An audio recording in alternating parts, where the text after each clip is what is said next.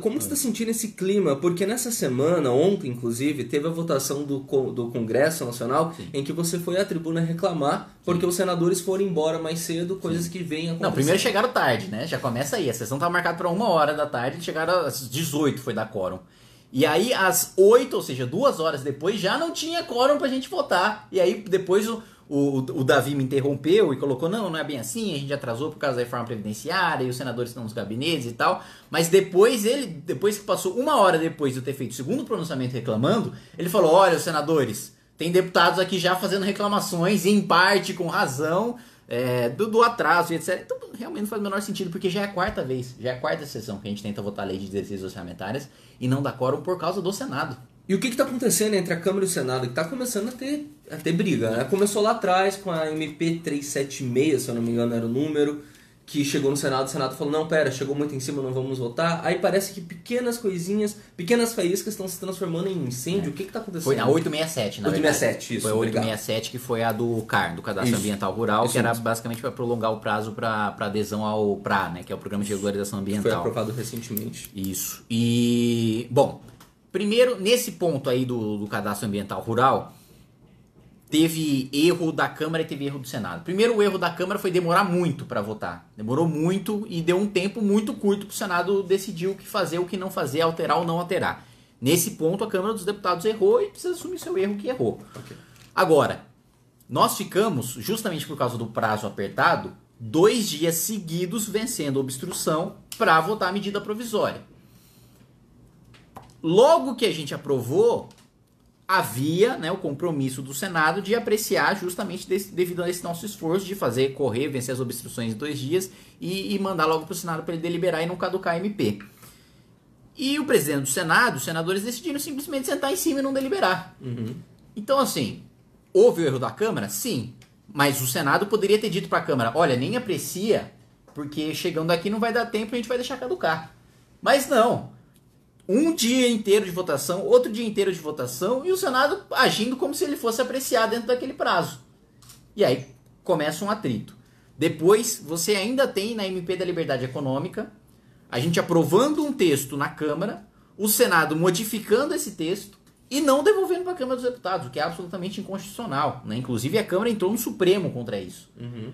O que assim, é patente que é inconstitucional. Mudou um texto no Senado que veio da Câmara o Senado é só a casa revisora. Precisa passar para a Câmara de novo, que é a casa originária. Uhum. Então, gerou outro atrito. E tem uma questão também de ciumeira do Senado em relação à Câmara. Né? Porque a Câmara ganhou muito protagonismo com a votação da reforma previdenciária, os debates ficaram centrados aqui, e os, os ministros do governo vieram mais para cá para falar e etc. E o Senado ficou sem protagonismo, os senadores ficaram chateados aí. E também política é boa parte da política é administração de vaidade. Sim. E e ficou nesse nesse embrólio e tal. Aqui a gente já começou a acelerar a reforma tributária, aprovou na CCJ, já instalou comissão especial, já está acabando a análise na comissão especial, o Senado não tinha começado nenhum debate, e aí, de birra, o presidente do Senado coloca para tramitar uh, outra proposta de reforma tributária, diferente da, dessa que está tramitando aqui na Câmara, só para também tentar tomar protagonismo e etc o que também gera ruído, que também é ruim. E aí, até onde eu sei, existia um acordo entre o presidente da Câmara e o presidente do Senado para que o, a lei do Pacto Federativo, uhum. que deve ser encaminhada pelo governo, né, uma promessa do ministro Paulo Guedes já desde o início do ano, tramitasse primeiro no Senado para que o Senado tivesse protagonismo. Não foi enviado até agora. Só que o fato de não ter sido enviado até agora não é culpa da Câmara. Não é a Câmara que envia, é o governo. É o governo que tem que precisar ser cobrado. Uhum. Mas as retaliações estão vindo em cima da Câmara nas sessões conjuntas do Congresso Nacional. E mais, além disso, você também teve é, a questão da sessão onerosa. Uhum. Né, que foi aí um, um dos principais né? estopim aí para que a, que a briga se tornasse pública e tivesse essa, essa ruptura é, é, mais profunda, assim, porque nós aprovamos um, um, um, relatório aqui na Câmara, uhum. que a divisão do bônus de assinatura para os estados e para os municípios seria definido via lei, ou seja, para a gente resolver logo a sessão, fazer logo o leilão e uhum. evitar que o país perdesse dinheiro, que a União perdesse 80, 90 bilhões de reais, vamos deixar para a lei, para a divisão a gente brigar depois, que a gente sabe que a briga, cada estado vai defender seu interesse. Uhum. Vai o senador, o relator, é, Cid Sim. Gomes modificar essa divisão no Senado, ele tira da legislação e ele mesmo define qual é o critério de divisão. E o critério que ele escolheu também não tem nada demais, é razoável. O problema foi não ter respeitado que a discussão seria jogada para depois, pra gente fazer o leilão logo e liberar o dinheiro logo. Né? Ele antecipou a briga. E não só antecipou a briga, como ele colocou aqui na Câmara a responsabilidade de que do atraso da votação da sessão onerosa Aham. e disse que aqui tinha rachacador. Foi exatamente esse argumento que foi levado a plenário. Então, assim, eu reconheço que a Câmara não é feita por anjos, assim, assim como o Senado também não é. Mas você não ataca um, um poder, uma casa inteira com, com esse teor de, de palavra. É, atacar a atuação de um parlamentar é uma coisa. Outra coisa é falar que a casa inteira é responsável quando ela, aliás, foi a maior responsável pela divisão do bônus de assinatura. Sem, sem acordo da Câmara não tinha a divisão do bônus de assinatura, Estado nenhum tinha recurso nenhum.